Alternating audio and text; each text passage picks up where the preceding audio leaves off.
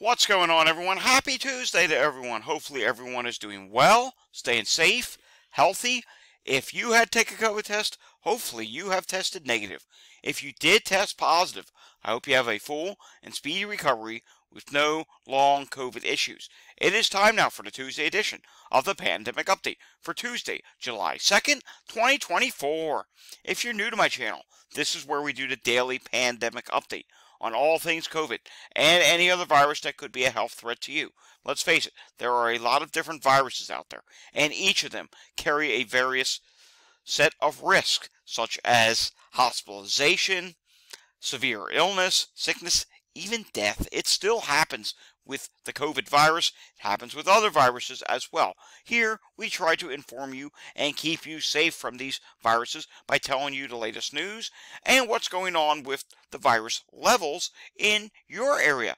Usually it's the United States, but hey, sometimes if we find stuff from other places around the world, we do report on that as well. Want to stay informed with what's going on? Subscribe down below. It's the best way to stay safe. My updates are daily. I do them almost every day of the year. Very rare have, do I ever miss an update. So subscribe down below if you want to stay informed. If you like this, give it a thumbs up. It helps push the content throughout the algorithm of YouTube. Share these videos with anyone you know. And of course, leave a comment down below and hit that notification bell. That notification bell will tell you when I do my daily update. All right, starting off today on a good note. Yes, you heard me correctly. A good note. I haven't said that in a while, but today we have to start off by saying this.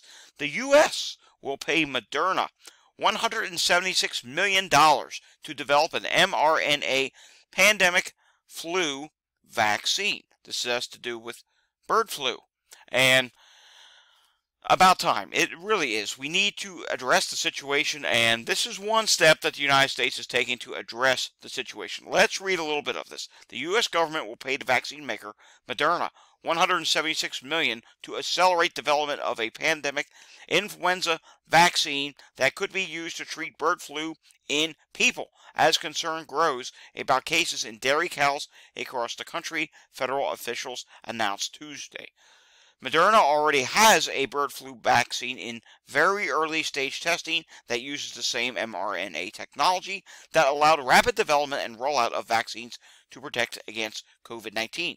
The new funds from the U.S. Department of Health and Humane Services include continued development of vaccine, including a late stage trial next year if those early study results are positive. So, some very good news that we may actually have in the works a vaccine for bird flu for humans. Of course, obviously, the first people that would even be able to get this when the time comes is probably, if I had to guess, would be farmers. As they are the ones most at risk right now, but as we know, as this continues to spread and evolve, you know, farm workers, they have families, it spreads to their families. Do they have kids? Well, kids go to school. You know, eventually the whole domino effect, if we don't do something, could happen and at least we're taking one step here with a potential mRNA pandemic flu vaccine. Alright, moving on over to my website now. Remember lately, I've been telling you that I am compiling a list of all the 2024 uh, performers or bands, entertainers, whoever, who had to cancel shows because of being sick. Well, I've added to it yet again, and this time a recent one that just popped up today. Singer Pink will be canceling a show in Bern, Switzerland. So far, the cause is said to be doctor's orders after Pink fell ill. So again, singer Pink is now uh, falling ill. I promise I will get around to adding more of the past ones. Uh, I've just been very busy because I run another channel, and well, right now we're talking about Hurricane Beryl. We'll get to more details on that in just a moment. Now, in measles news, I do think we mentioned this before, but it is worth uh, mentioning this again. There has been a case of measles that traveled through Boston's Logan Airport. It's a busy time for travel right now with the 4th of July, and a person did go up to New Hampshire. Then I think, believe they eventually came back, and they went from Boston to Amsterdam. So, yes, this is uh, something to be concerned about. I did tweet this out. You can read the full story from WWLP.com. That's a uh, news source up in Boston, I believe. And you can read all the times and potential exposures. Hey, if you travel through there, you may actually want to read this because it's relatively important. All right, some good news. Studies suggest regular vaccine boost may help people who are immunocompromised fight COVID 19. John Hopkins Medical Research finds booster doses of bivalent vaccines given every three to six months helps maintain a person's ability to neutralize multiple SARS CoV 2 strains, including XBB 1.5. I know, XBB 1.5, that was a variant from oh so long ago, but hey, at least it does uh, help. All right, moving on to this now. We have to talk about Thailand. New hospitalizations for COVID in Thailand rocketed upwards last week to 3,256 new cases, hitting a new weekly high for all of 2023 and 2024. The Ministry of Public Health on Monday also reported 16 new COVID deaths for the past week. This is a fact from Friction Fiction on X, and they did put more. Thailand's new weekly COVID hospitalizations now are more than six times the weekly total of 501 from when the current spring COVID surge began in mid March, now averaging 465 per day. Thailand's new weekly COVID hospitalizations have risen for 14 of the past 16 weeks. The latest weekly hospitalizations tally for June 23rd to 29 marked a week over week increase of almost 79% from the prior week's total of 1,823. The weekly gain of 1,433 new COVID hospitalizations, they're saying hospitalizations, not cases, new COVID hospitalizations is by far Thailand's largest week over week increase of the year. The latest tally of 16 weekly COVID deaths ties to weekly high for Thailand for 2024 among the new deaths. The MOPH said seven were male and nine were female. By age, 10 were ages 70 and above, two each were in the ranges of 60 to 69, 50 to 59, and 20 to 49. Hey, 20 to 49. That's becoming a younger age. So, yes, younger people still can die of COVID.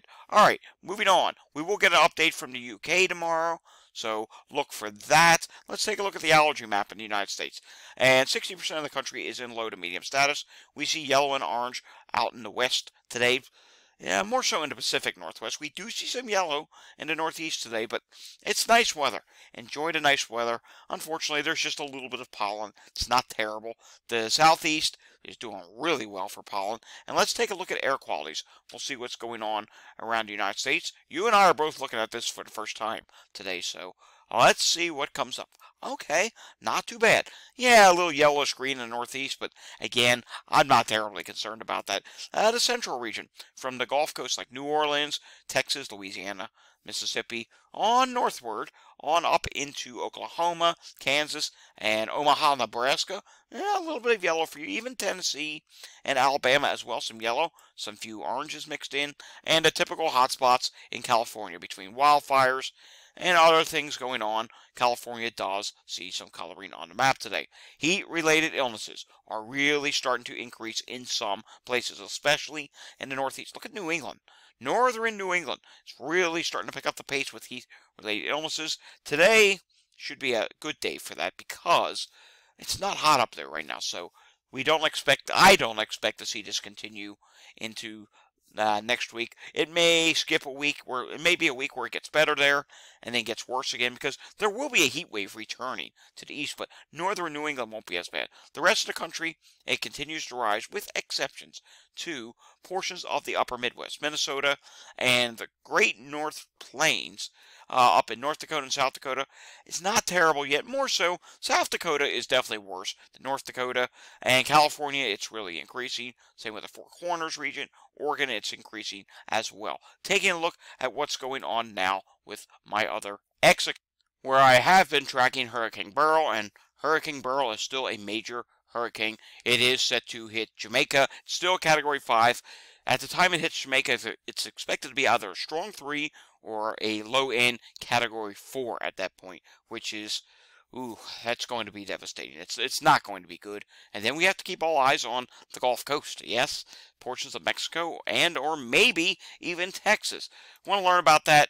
Check out Climate Data Report, and you can check out my other YouTube channel as well, which is also at Climate Data Report. All right, moving on now. Taking a look at what's happened in Philadelphia. On Monday, there were 786 EMS incidents. That is below 800.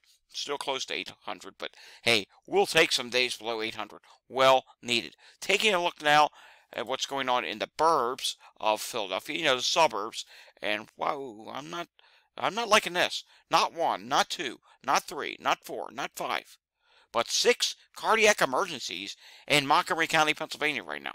Wow, that's not good. Plus, there's a respiratory emergency and a few other things. 13 calls total, but again, one, two, three, four, five, six cardiac emergencies, respiratory emergency, stroke. Yikes, that's not a good set of calls right now. Let's see what's going on in Chester County, and we do see there are a few things going on there as well. Continuing on now, we have to refresh this. Let's take a look at the latest update from Pennsylvania's wastewater today and see what's going on. Well, we do see some good news. We see a, no wastewater site in Pennsylvania on their dashboard is seeing any large increase at this time. There are some places that are seeing no change, but we also do have a couple counties with increase. One of them being Centre County, Pennsylvania, in the State College area. That's where Penn State goes, or is, and uh, they're in summer classes. That's much smaller population at Penn State right now than it would be in the fall, winter, or even spring semester. And Indiana County is also noting that there is a increase at this time. But again, nowhere showing a large increase in Pennsylvania at this time. That's some good news. Nationally, at Walgreens this week, 36.5% positivity rate. That's up by 2.5%. Let's take a look at what's going on now up in Canada. Drum roll, please. I doubt this updated, but we'll see. Maybe it did. Okay, it did update. See, I think, I believe they just had Canada Day. Someone correct me if I'm wrong. Isn't that a big holiday up there? How we have 4th of July? They have Canada Day. Pretty sure that's a relatively big and important holiday, but hey, they updated. Number of sites showing an increase. 18. Number of sites showing no change. 34. Number of sites showing a decrease. 8. One site is high, 12 is moderate, 10 is low, 37 new sites, and these are wastewater sites for COVID. All right, let's take a look at something that we were looking at yesterday. Let's take a look at some uh, weekly deaths. We want to see some states what the percent of deaths is due to COVID. And we ended off yesterday with Illinois, which Illinois, that was dropping. It was down to half a percent. Let's continue on with a few other states. What's going on in Louisiana? Well, the most recent update from Louisiana, over 1.2% of all deaths right now in Louisiana are because of COVID. That most recently updated on April 13th. Let's go down to Kentucky. What is going on there? Kentucky at this time shows that 1.5% of all deaths right now are due to COVID. Let's continue to, how about New Jersey? I want to know what's going on with New Jersey. And New Jersey looks like it is 0.7% of all deaths right now are due to COVID. And let's just continue on here. We're going to do a couple more. How about Texas? Texas is a big jumbo size state, and we can see that it's starting to rise ever so slightly in Texas. 0.6% of all deaths in Texas are due to COVID. And here's another big one, an important one. Let's go to Florida. I don't recall. Did we do Florida yesterday? Wow, Florida is starting to actually really start to rise. It was 0.7. Now it's all the way up to 1.3. That's as of June 22nd.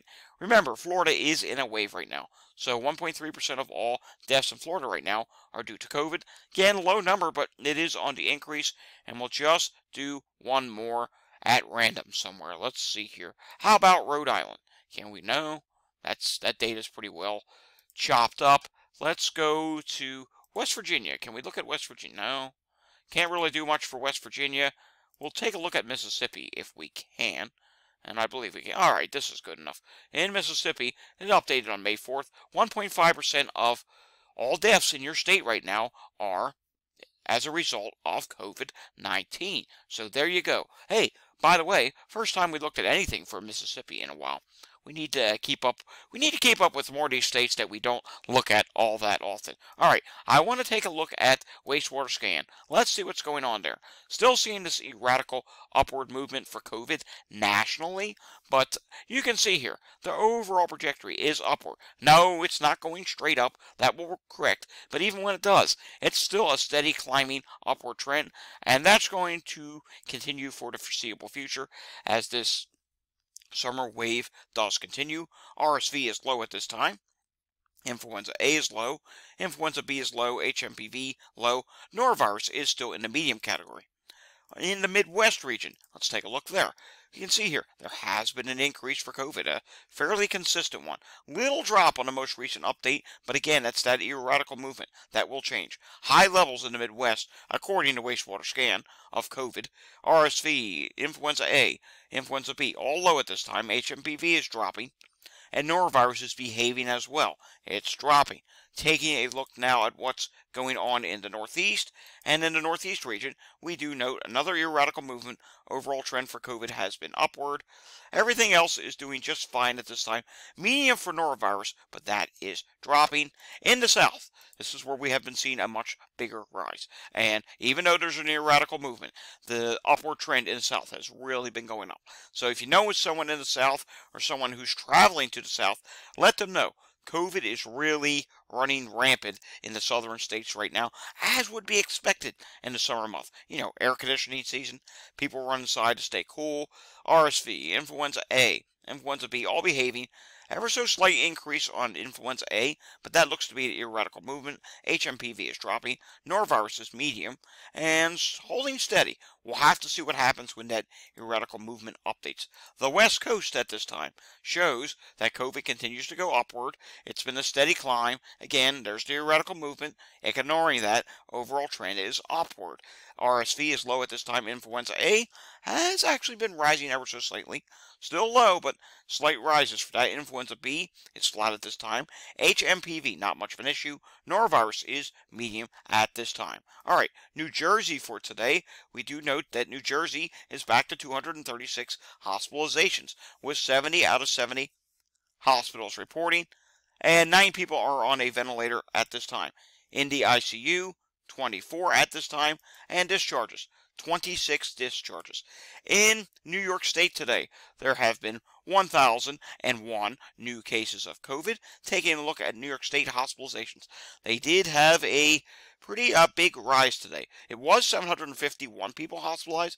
Now it's up to 831. So again, yeah, big rise. It's going to continue probably for several more weeks, if not maybe a few more months. Let me show you why. Because if we look at the past history with New York State, we'll just go back 20 months, say, and we can take a look back last year. We can see last year, the wave, it did start about a month later, but look what happened.